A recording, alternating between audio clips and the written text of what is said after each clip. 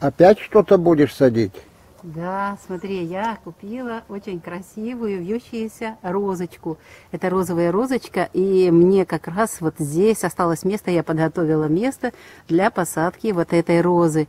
Вот видишь, тут вот хочу, вот здесь как раз достаточно, здесь два с половиной метра вот этот пролет.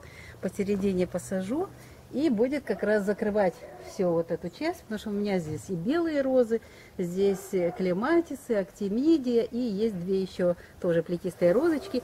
И вот это будет в центре закрывать весь дом, э, дом будет утопать в цветах. Ну а как я буду сейчас садить, я сейчас вам все это расскажу и покажу. Итак, я выкапываю яму. Здесь у меня как раз мультифлора растет осенью будет. А здесь вот будет расти розочка. Вот. Я специально подготовила. Здесь, кстати, у меня росли э, сидераты, э, потом э, эти бархатцы, разные цветочки. Вот. Но земля такая не сильно. Вот. Но здесь пушистее более. Что мне нужно? Мне нужна ямочка. Так, посмотрим. Мне вот эти росточки есть я их должна вот так вот. Вот. Наверное, вот такая глубина нормальная, но прежде чем я буду ее выкладывать, я, смотрите, снова же, у меня вот это удобрение сейчас просто э, основное удобрение. Сейчас перемешаю. Здесь килограмм э, мяса костной муки и килограмм рыбной муки. Перемешиваю хорошо и набираю полулитровую баночку. Это немного, это как раз хорошо.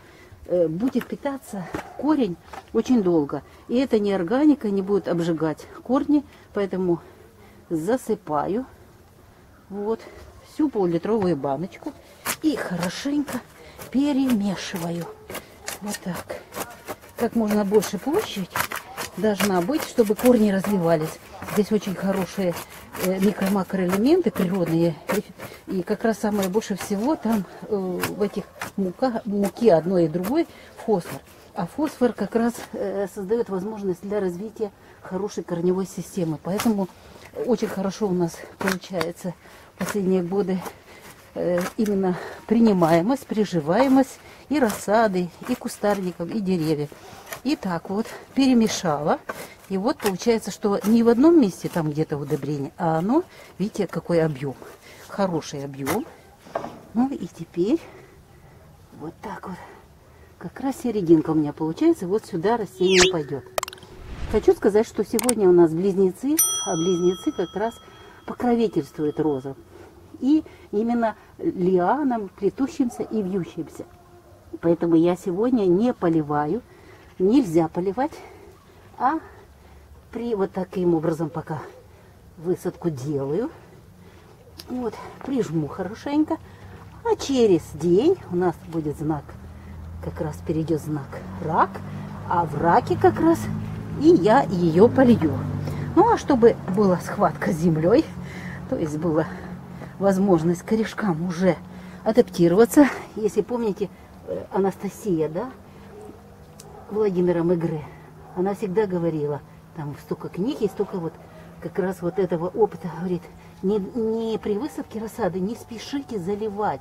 Дайте возможность, чтобы растения как раз адаптировались к этим новым условиям и начали думать, что нужно жить самостоятельно, а не просто так легко. А если потом какие-то проблемы возникают, как и люди, да, они теряются и могут погибнуть. Поэтому, видите, я посадила вот эти почечки, веточки уже, побежки оставила сверху. Вот здесь для полива делаю вот такую ямочку так своеобразную. И через день, когда будет рак, я полью. И все. Вот этот э, как раз полив, способ посадки и полив будет достаточно для того, чтобы зима вошла в зиму, э, роза зашла в зимовку, заговариваясь. Так вот, потом я, когда уже розочка адаптируется, когда перед морозами, я просто-напросто присыплю вот такой э, холмик, и розочка хорошо перезимует. Достаточно сейчас как раз э, и температура, и э, влажность. Ну вот, все идеально для того, чтобы развивалась корневая система. у розочек и хорошо уже с э, корневой системой адаптировалась и вошла в зиму. Ну вот, мы сегодня посадили в знаке близнецы. Э, мы посадили розочку, э, плетущаяся, она розового цвета. Название у него, у нее э, я не записала, но там название начала пинк, розовая и очень ароматная. У меня такая мечта есть именно вот такую плетущуюся розовую розу посадить было. И белый фон, это будет красивое сочетание и красивая роза у моего окна, у окна моего дома. Вы были на канале Раиса Горяченко Дача Сад Огород Цветы. Мы, Раиса Горяченко и Александр Волик. Сегодня посадили вьющуюся розу, не полили, польем послезавтра в знаке рак. Ну, а теперь пока все. Прощаемся до следующего видео. Всего вам самого доброго.